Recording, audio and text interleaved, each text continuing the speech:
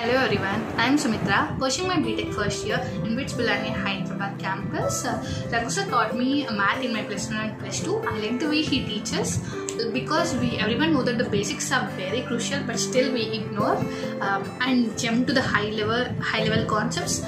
But sir strengthens and focuses on our basics. If we are strong in basics we can easily solve all the higher level problems. Especially i like the way he teaches the conic section because like no need to remember separate formulas. For circle ellipse hyperbola and parabola. We can just remember as a single thing. Sir gives many tips and tricks to easily solve the problems in very less time. And sir solves uh, sir helps Sir clears all our doubts from a low level to high level in a very simple manner. Even if you are emotionally breakdown, Sir gives a lot of support